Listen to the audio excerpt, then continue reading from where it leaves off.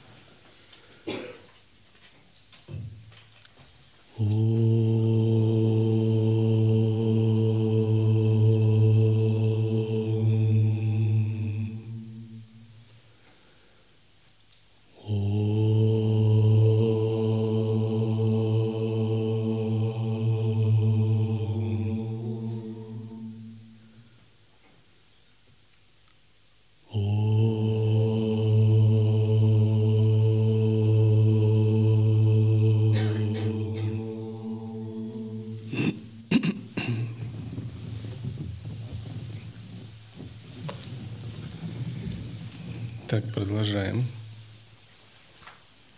обсуждать беседы Шим Рамана Махариши. Покажите текст по книге «Беседы Ширамана Махариши. Как быть собой чистым счастьем». И эти беседы важно понять в контексте философии Адвайта Веданты. Поскольку подход Ширамана Махариши прямо выражает такой подход и овладеть юкти Адвайта Веданты, Атмавичарой, для нас это одна из главнейших задач всей жизни –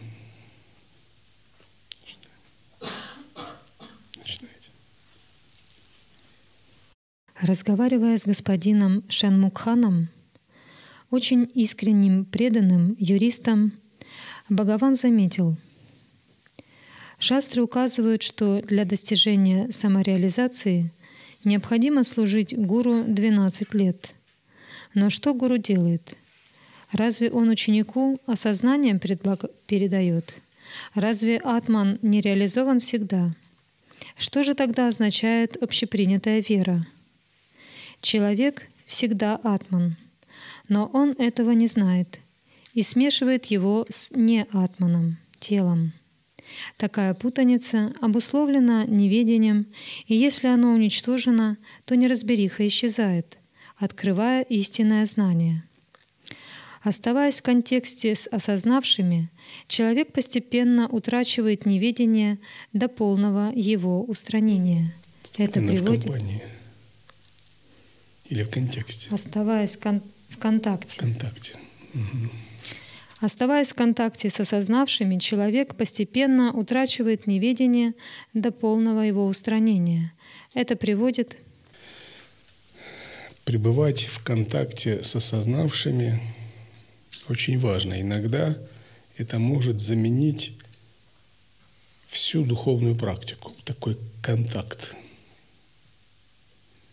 То есть, вернее, сам контакт и является способом осуществлять духовную практику. Особенно это важно в традиции Анутара Тантры. Поскольку в Анутара Тантре имеет большое значение прямая передача, гуру-йога. Когда один человек пребывает в глубокой осознанности, например, в состоянии джаграт свапна, джаграт турья, то его ветры, его бхава – действует вокруг таким образом, что тот, кто находится рядом с ним в состоянии достаточной восприимчивости или в поле его, если у него достаточно восприимчивости, он тоже будет сонастраиваться. То есть он будет получать пхаву, переживания, его вритти будут постепенно-постепенно выравниваться. Но очень много зависит от его восприимчивости – поскольку если вы есть восприимчивость, это будет происходить, если есть дух сама. Если восприимчивости нет, это не будет происходить, поскольку это очень тонкие энергии, такие слабые токи. Но такой контакт – это действительно такая практика, которая вам помогает или вас меняет. Допустим, в кундалини-йоге этого недостаточно. Надо практиковать методы, делать пранаямы, мудры и развивать свою энергию. В раджа-йоге тоже этого совершенно недостаточно. Надо заниматься дхараной, тхьяной и входить в самадхи. Но в анутары тантре это может сработать при условии самаи, гуру-йоги, выполнение системных требований.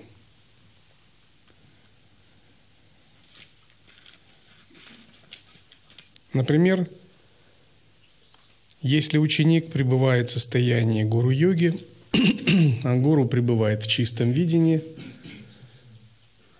то по закону сообщающихся сосудов через некоторое время ученик тоже настраивается на чистое видение – если гуру пребывает в самоосвобождении, у ученика есть гуру-йога, то через некоторое время ученик тоже начинает интуитивно понимать, что такое самоосвобождение, и принимать это видение и практиковать его, утверждаться в нем.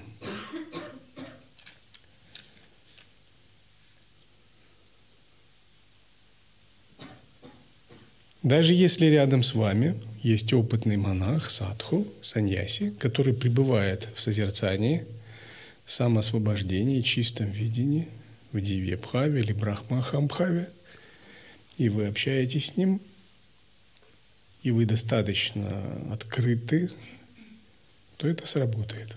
Если этот ученик высокого уровня в передаче в Самае.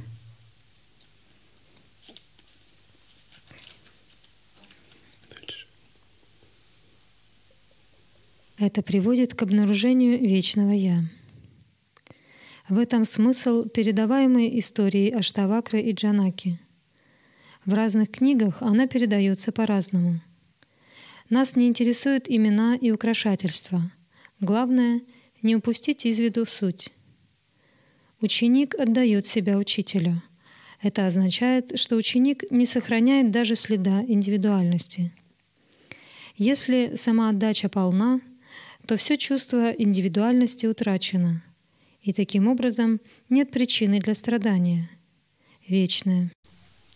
Ученик отдает себе учителю. Смысл этого выражения в том, что учитель здесь представляет собой не человека, а брахмана, брахма Ахамбхава. Только в этом случае самоотдача будет плодотворно иметь смысл. Когда ученик способен отдать себя Брахма Ахамбхаве, Дивьябхаве, осознаванию, так что его прошлое цепляние, фиксированные идеи, шаблоны в процессе самоотдачи убираются, растворяются, то изнутри него пробуждается его собственная Брахма Ахамбхава и Дивьябхава как результат самоотдачи. Именно так следует понимать процесс э, самоотдачи и выражения ученик отдает себя учителю.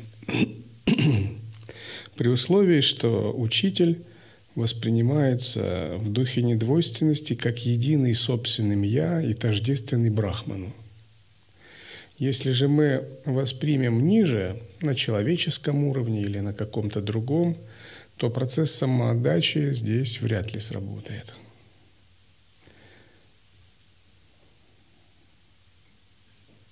В процессе такой самоотдачи очень важно не цепляться за эго, за индивидуальность, сформированную эго. За этой индивидуальностью, личностью есть более глубокое сознание. И в процессе такой самоотдачи это более глубокое сознание, оно начинает расцветать, усиливаться в нас – превосходить эго и индивидуальность. И в истории были случаи, когда ученик в процессе самоотдачи достигал пробуждения одной своей самоотдачи.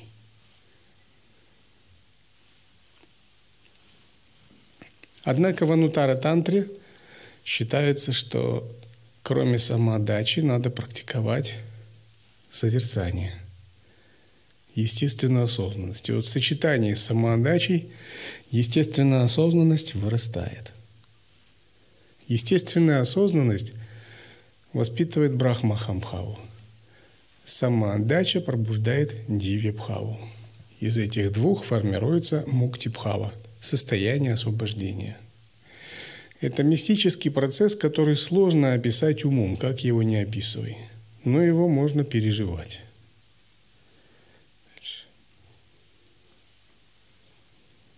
Вечное бытие есть единственное счастье.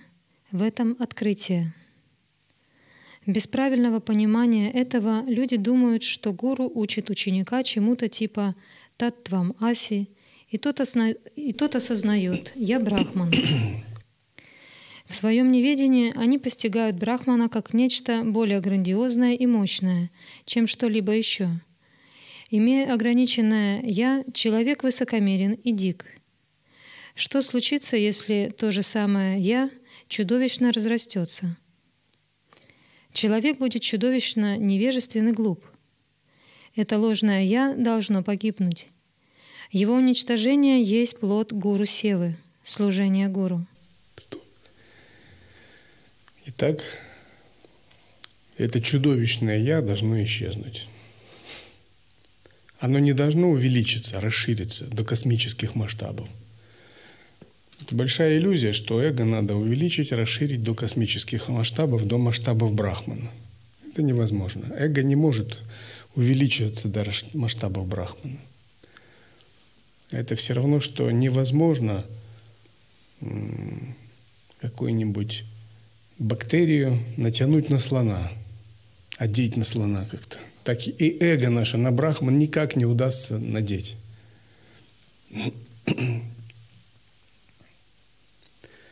Эго можно уподобить обезьяне, опьяненной и ужаленной скорпионом. Еще кто-то ради шутки дал ей выпить вина – она и так была и бешеная обезьяна, не простой, а бешеный. То есть одна обезьяна сбесилась, неизвестно почему. Кто-то ради шутки еще дал и вина попить, чтобы веселее было. И в таком состоянии еще ужалил скорпион, и она вообще... Вот что такое эго. То есть э, неправильное видение, заблуждение, полное состояние непонимания реальности, тройное опьянение. И вот это тройное опьянение, это и есть три мира, э, Вишвата и Джаса Праджня, три малы, Анава мало, карма мало и майя мало. И вот такая взбешенная обезьяна, пьяная от вина и укушенная скорпионом, не может э, адекватно постигать реальность, видеть Брахмана. Она не может расшириться до постижения реальности. Она должна отказаться полностью от своей природы. Таким же образом, вот наше эго, если его раздуть даже до космических масштабов, это все равно будет большая космическая обезьяна. Но она не будет абсолютной истиной. Поэтому речь идет не о расширении эго, речь идет об уничтожении отождествления с ним. Даже не об уничтожении самого эго. Оно как бы вообще не предмет нашего внимания. Пусть живет. Это просто механизм антахкарана, сформированный из тонкого тела. А речь идет об уничтожении отождествления и неведения, которое связано с ним. И вот иногда такой парадокс может быть. Эго может хотеть медитировать, эго может хотеть освобождения, эго может хотеть практиковать, ретритов, опытов, небес, ситхи. Оно как бы может перестроиться и перейти на духовную сторону. И вот, вот эти новые желания, они правильные, как бы это нормально. Но эго не перестанет быть эго. И оно все равно не даст, вот такое желающее эго, оно все равно не даст освобождения. Оно может быть дать магические силы, дать некоторое счастье, сатву, но постижение Брахмана – это полное уничтожение отождествления с этим эго. И вот это возможно именно только когда есть самоотдача, когда будет не так, как эго хочет – Потому что духовный путь именно таков. Вот мы на духовном пути вот хотим, а все не так на самом деле. И будет не так, как мы думаем.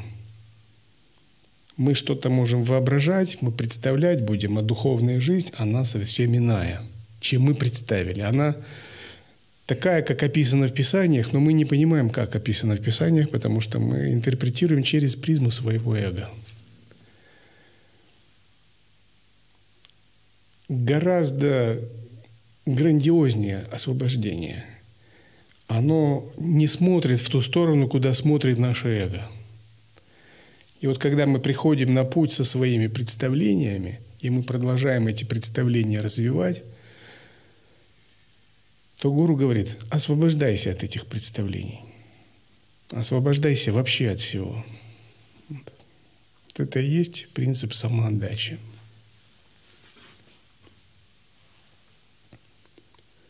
Поэтому иногда, когда эго хочет медитировать, иногда полезно ему дать севу.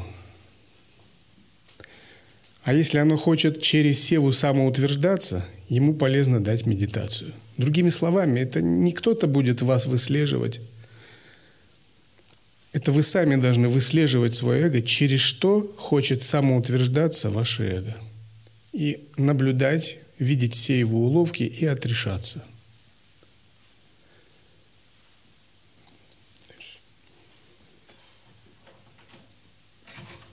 Реализация вечна, и ничего нового не приносит. Он помогает в удалении неведения, и это все.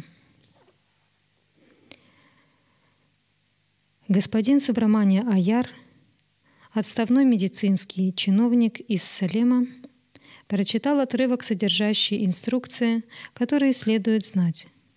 То есть мир скоротечен, Мирские наслаждения бесполезны, необходимо с отвращением отвернуться от них, обуздать чувства и медитировать на атмане, чтобы осознать его. Шри Бхагаван заметил, откуда человек узнает, что мир скоротечен. Приходящая природа мира не может быть понята, если не держаться за нечто постоянное. Поскольку человек всегда есть атман – и атман есть вечная реальность, то его внимание должно быть привлечено к нему, и его, инструмен... и его инструктируют приковать свое внимание к вечной реальности, атману. С точки зрения абсолютного воззрения, воззрения Адвайта Веданты, мир не то что скоротечен, его вообще нет. Но поскольку нам сложно понять это, мы должны идти постепенно, сначала убедившись в страданиях мира, в непостоянстве, чтобы плавно-плавно сдвигать свое восприятие. Мы должны прийти к этому. Это очень долгий путь на самом деле. Если по-настоящему мы идем к осознаванию воззрения Адвайта Веданты. Это невозможно сделать в одной части быстро. Даже если мы усвоим постулат Адвайты об иллюзорности мира, что есть только Брахман – все наши чувства, наш ум, наш повседневный опыт будет жестоко разрушать это и смеяться над нашим поверхностным воззрением. Мы скажем, мир иллюзорен, его не существует, однако придет время просада, и нам придется смириться, что наше тело не признает наше воззрение, и мы вынуждены повиноваться телу. И так постоянно. Поэтому воззрение Адвайты мы воспитываем постепенно. И в процессе такого воспитания мы очищаем субъект, себя как субъект, убираем все ложные представления о себе, вызванные наложениями пяти оболочек. Оболочка анамая проявляется как «я» тело. Оболочка пранамая проявляется как «мне жарко» или «моя энергия движется, я чувствую». Оболочка манамая проявляется как меня обижает что-то, или наоборот, мне радостно на эмоциональном уровне. Оболочка Виджняна Майя проявляется как мои концепции. Я считаю так-то, я такой-то. Оболочка Ананда Майя – проявляется как мой долг, мои принципы, мои глубинные отождествления. И вот все эти наслоения пяти оболочек мы должны очистить. Это и есть очищение субъекта.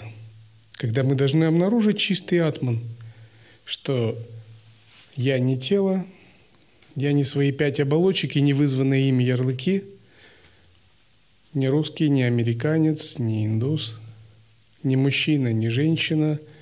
И я не приверженец таких-то взглядов или таких-то взглядов, и не приверженец таких-то вкусов или таких-то вкусов. Я чистое сознавание. Это процесс очищения субъекта. Также мы очищаем объект. Когда в отношении внешнего мира мы постепенно приходим к чистому видению, восприятию пустотности, иллюзорности внешнего мира, восприятию Брахмана, на который внешний мир словно наложен, или восприятию энергии, которая не покидает сознание Шивы, как это в философии шиваизма. В отношении внешнего мира мы должны прийти к чистому видению, единому вкусу, и затем интериоризировать, впитать внешний мир в свое «я», включить его как часть своего сознания – Кроме этого, есть процесс восприятия. Очищение восприятия означает, что мы учимся смотреть на мир не глазами наших клеш, васан, ума и эго, нашего старого субъекта, а, например, глазами порожденных брахмакара вритти, духовных вибраций в сознании, атмавичары, например – санкальп, внимательности, чистого видения, обнаженного осознавания, глазами Шамхави мудры и, наконец, глазами естественного состояния. И вот практика созерцательного присутствия, вся практика созерцания – это не что иное, как очищение восприятия. Мы можем воспринимать ведь мир по-разному. Например, можно смотреть на стены, на мурти – и думать о них обычными глазами. А можно смотреть в состоянии обнаженного осознавания. Вместо этого не вынося оценок, а практикуя Акаша, Дхарану или Шамхави Мудру. В первом и втором случае восприятие одного и того же объекта будет разным.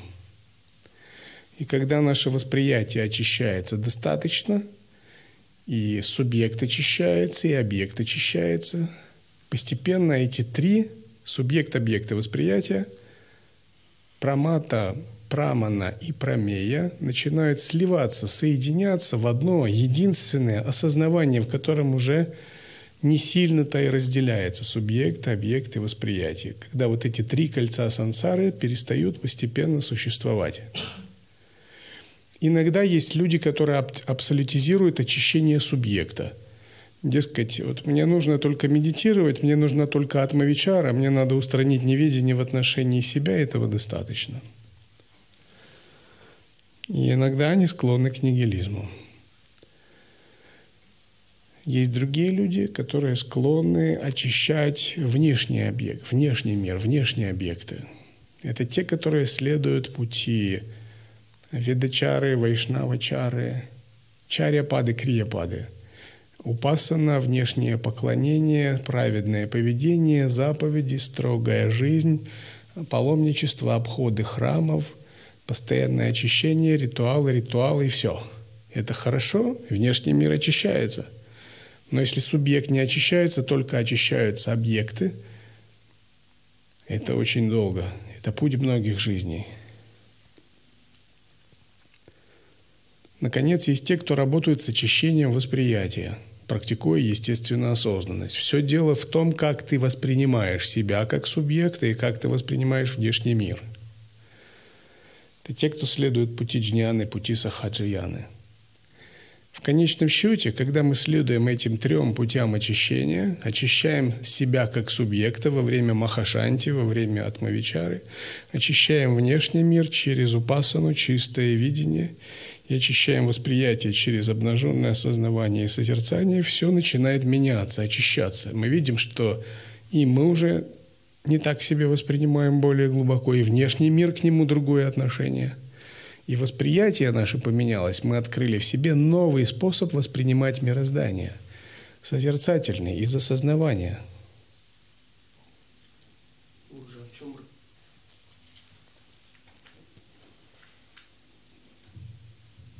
В чем, в чем разница между очищением субъекта очищением восприятия? То есть там нюансы какие-то есть? Тысячи нюансов. Эти нюансы открываются по мере углубления сознания. Очищение субъекта – это очищение своей идентичности. Вот то, с чем вы себя идентифицируете. А очищение восприятия – это то очищение – то, как этот субъект видит внешний мир, поскольку мы все очень сильно зависим от внешнего мира. Внешний мир формирует нас. Не было бы внешнего мира, наше восприятие и не развивалось бы. Это аксиома шиваизма. Но мы можем очистить свое восприятие этого мира. То есть как бы очищение субъекта – это больше к воззрению, а восприятие – это к созерцанию. Да, именно так. И еще, Гурджи, можно сказать, что вот Брахмананда – это седьмая земля. То есть мы, то есть это он, по сути, Брахма-творец, он сотворил свою вселенную. То есть можно сказать, что мы сейчас вот находимся в его вселенной. Ну, как Санга, вот как именно в Самай, кто в Самай. А вот Хута Гуру Брахмананда? Да, это седьмая земля мудрости. Вы можете так считать, да. Потому что каждый а, святой пребывает в едином вкусе в субъективном восприятии реальности, когда мир является частью его сознания. Дальше. Различные вероучения. Рамана Махарши. Мысль поднимается как субъект и объект. Если удерживать только «я», то все остальное исчезает. Этого достаточно, но только для но только для компетентных немногих. Стоп. Этого достаточно, но только для компетентных немногих. Как это можно перевести? Иногда люди читают Ширамана Махариши, и они говорят, ну это же, этого же достаточно. Вот зачем вот все остальное? Вот сидим, медитируем, Атмавичара. Но Романа Махариши сделает, делает здесь поправку. Но только для компетентных немногих. Что значит на санскрите компетентные немногие? Это называется дивья бхава. То есть есть три типа йогинов – пашу, вира и дивья. Дивья означает те живые существа, кто в прошлых воплощениях накопили достаточно дхарма сукрити, достаточно пуня, заслуг и развили свою осознанность, чтобы следовать только этому пути, э, не занимаясь ничем другим. И мы должны тогда или обратиться к гуру, или сами, исходя из знания шастр, прочитать шастры, определить свою конституцию, свой тип э, йогического темперамента, к какому йогическому темпераменту или типу мы принадлежим.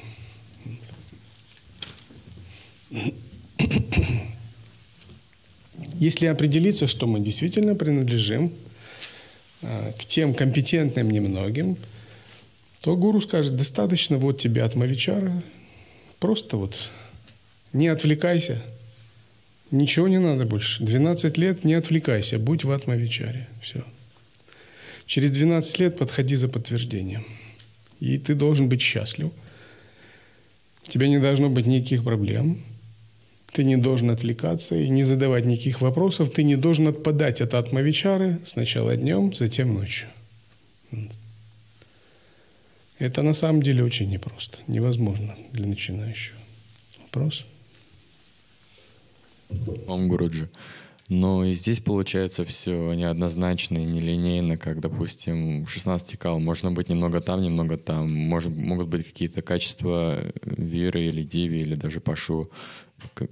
Да, получается неоднозначно и нелинейно. Забудьте про однозначность и линейность, когда вы вступаете на путь дхармы. Тут, когда мы говорим что-то, мы хоть как-то пытаемся вот это все связать, чтобы вообще как-то не потеряться, понимаете? Потому что реальность настолько неоднозначна и нелинейна, что это даже умом не постичь. Но даются концепции, даются общие дороги, чтобы мы могли ориентироваться. Поэтому все концепции не следует принимать буквально. Это так же, как карта, это не есть местность. Понятно? В карте вы огород не разобьете. Она просто указатель. Этого достаточно только для компетентных немногих. Остальные доказывают. Совершенно верно, мир, что существует во время моего глубокого сна, существовал перед моим рождением и будет существовать после смерти. Разве другие не видят его? Как может мир прекратить свое бытие, если мое эго не появится? Происхождение этого мира и различные школы мысли предназначены для того, чтобы удовлетворить таких людей. Искатель. Тем не менее, будучи только продуктами интеллекта, они не могут обратить и ум вовнутрь. Раман Махарши. Именно по этой причине Писания говорят о перевернутом взгляде, сосредоточенном взгляде и тому подобное – Э, священные писания, основанные на человеческом языке, на логике, предназначены для тех, кто оперирует этим языком. Боги с руками и головами, имеющие человеческую форму, предназначены для тех, кто имеет такую же форму и привязан к такой форме. Эпос, мифология, описывающая богов как действующих по человеческим шаблонам, испытывающих человеческие восприятия, предназначены для тех, кто к ним привязан. Человеческое описание мира используется для пути дхармы, потому что есть существа, которые к ним привязаны. Например, в йоге иллюзорного тела визуализируется дворец. В нем живет божество, и мы туда должны сами себя поместить. Таким образом, очищается тенденция привязанности к жилищу, человеческая тенденция. Визуализируется трон, очищается тенденция привязанности к гордости и богатству. И вот все визуальные образы, которые используются в йоге иллюзорного тела, Они несут за собой энергию, определенный смысл, но кроме этого это происходит очищение. Например, визуализация семенного слога, диска Солнца и Луны – это очищение тенденций к перерождению и так далее. Это делается дано как искусственные средства святыми, чтобы мы могли очищать наши тенденции. Гурджи, а вот а, скажите, вот эта визуализация божеств и себя как божество в мандале, божества, это очищает внешние объекты, да, и еще себя, то есть и это все очищает вообще. Йога иллюзорного тела очищает все три. Мы очищаем представление о себе как о субъекте, вместо этого считая «я» – дататрия, «мой ум» – тождествен дататрия. Мы очищаем внешний объект, когда смотрим на мир как на мандалу, проявленный чистую сторону своего божества.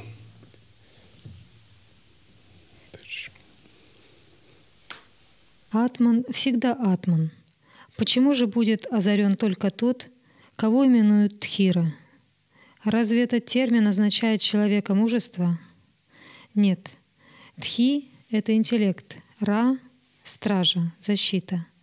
Поэтому Тхира есть тот, кто всегда сохраняет ум, направленным вовнутрь, не позволяя ему блуждать вовне.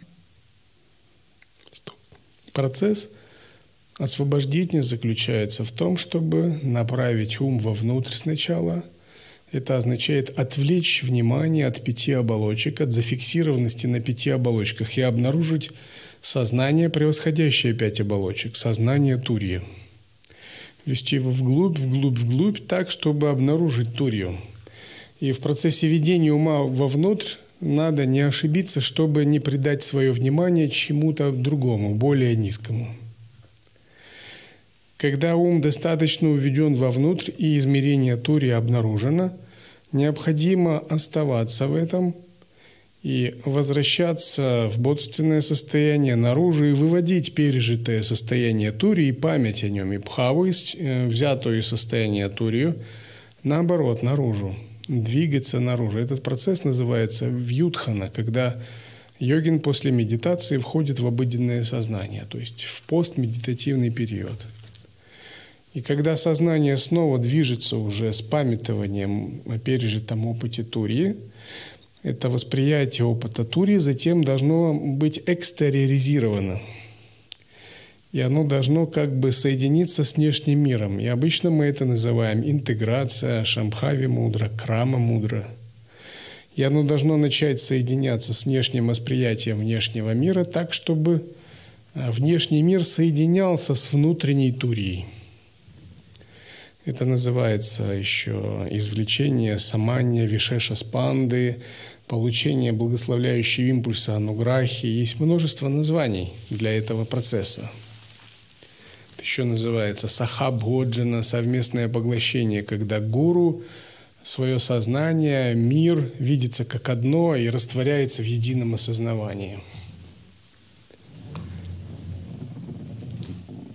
В конечном итоге это называется крама мудра и пхайрава мудра, когда турья внутри и турья снаружи. Когда внешний мир объединен с внутренними, два пространства соединились. Тогда есть единый вкус, в котором нет разделения больше на внешнее и внутреннее. Сарва сарватмаком – всеобщая взаимосвязанность. Сейчас, минутку.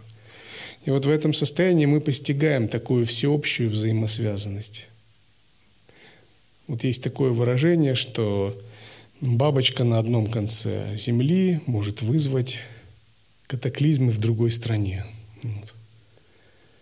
Но на самом деле, с точки зрения всеобщей взаимосвязанности, даже ваш щелчок пальцами в этой Вселенной может повлиять на всю Вселенную и на другие Вселенные – потому что действует этот принцип сарвам сарватмакам.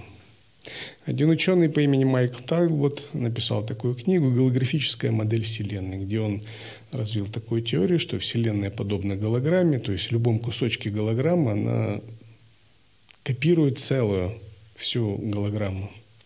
То есть любой атом во Вселенной Он содержит информацию обо всей Вселенной. Это возможно осознать, понять, когда внутреннее и внешнее соединены. Принцип сарвам, сарватмакам. Вопрос.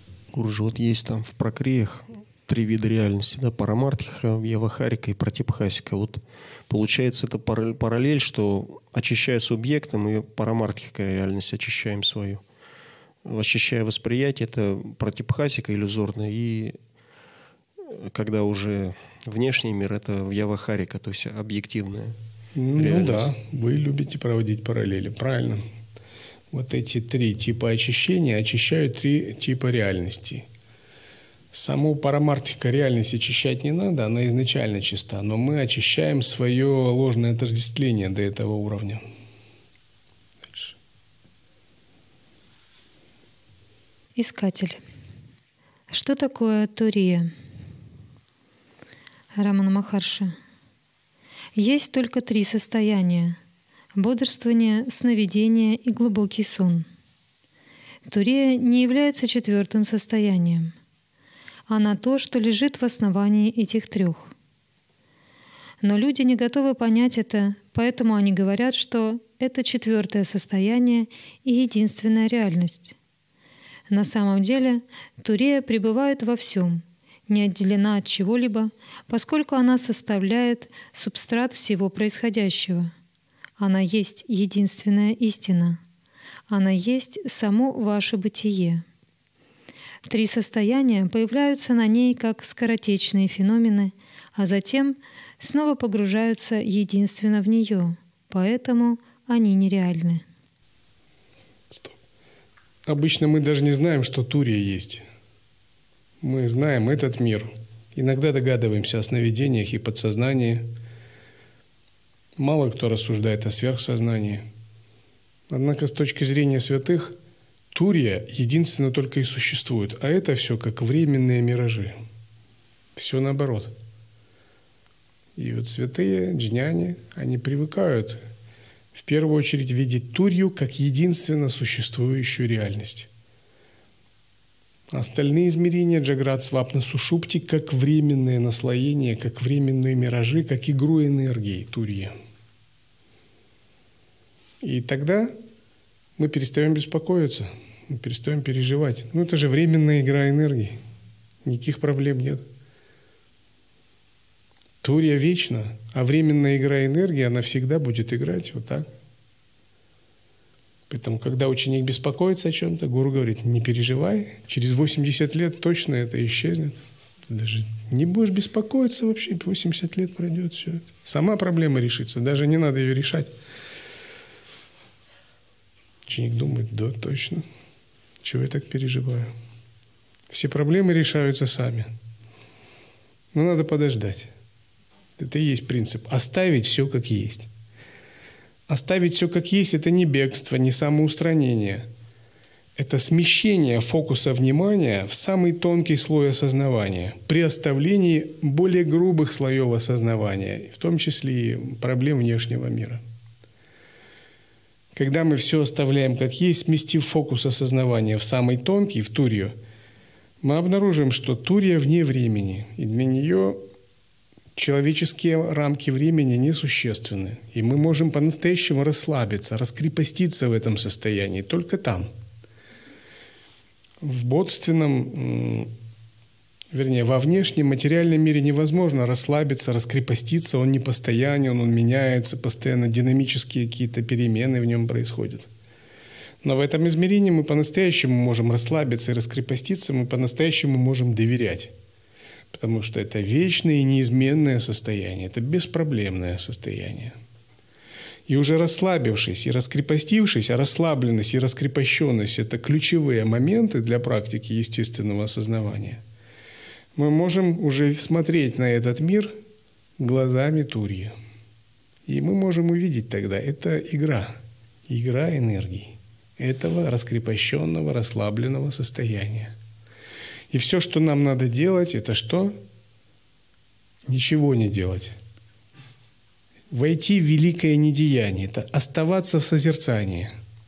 И если мы правильно поняли и получили передачу, и правильно поняли принцип естественного состояния, и не отвлекаемся, то сама такая позиция, она будет постепенно возвышаться над э, приходящим внешним материальным миром, тонким миром, будет постепенно его поглощать, будет устанавливать как бы свою силу, превосходство и владычество над игрой энергии. Игра энергии постепенно будет усмиряться, очищаться. Изображения, возникающие при демонстрации кинофильма, только тени, проходящие по экрану. Они проявляются, движутся вперед и назад, изменяются от одной к другой. Поэтому они нереальны, тогда как экран все время остается неизменным. Подобное происходит и в живописи. Изображения нереальны, холст реален –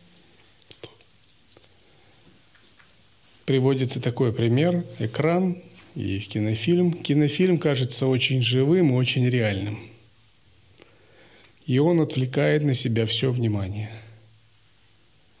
Но когда фильм заканчивается, наваждение кинофильма тоже заканчивается. Все видят, что это был экран. Все остальное была игра света, тени и цвета на поверхности экрана. Когда мы пребываем в состоянии экрана, в состоянии зеркала, мы утверждаемся в том, что по-настоящему неизменно. И вот учение о зеркале и отражениях называется Абхасавада. Абхасавада означает, мы постигаем связь зеркала и отражений – что является главным, что является второстепенным. больше никогда не ошибаемся. Отражение временное и приходящее, но зеркало неизменно. И зеркало не зависит от того, какие отражения в нем отражаются. В зеркале может отразиться Будда, Шива, Мурти. Может отразиться собака, свинья или монах. Но само по себе зеркало – не запятнывается. В зеркале может отразиться один объект, множество или миллион. Оно не терпит ни прибавки, ни убавления. Оно пурно, пурнатво или парипурно.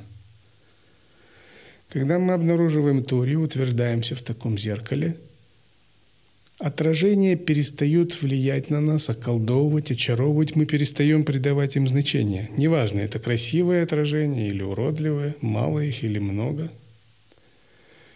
Тогда мы понимаем, что то, что мы называем жизнью, рождением, смертью, это все отражение. Это не имеет отношения к нашей жизни. К нашему настоящему «я» это не имеет никакого отношения. Это игра энергии, но это не есть мы – все активности не имеют отношения к нашему сущностному «я». Тогда мы перестаем переживать из-за этого, отделяемся, и у нас возникает вивека, различающая мудрость. Мы перестаем путать зеркало и отражение. Вслед за вивекой приходит вайрагия, отрешение. Мы уже перестаем считать себя отражениями. Мы отделяем себя от отражений – Вслед за вайрагией приходит бодха, просветление. Вслед за бодха наступает освобождение, когда мы понимаем, что рождение, смерть, сансара и инкарнация не относятся к нам. Это не есть наша природа. То же самое и с, ним, и с нами. Мирские феномены внутри или вовне – суть только проходящие явления – зависимые от нашего «я». Лишь привычка считать их реальными и находящимися вне нас ответственна за сокрытие нашего истинного бытия и последующую демонстрацию всего остального. Будучи обнаруженной, всегда присутствует только реальность — атман, а остальные нереальные вещи исчезнут, оставляя позади знания, что они — не что иное, как атман.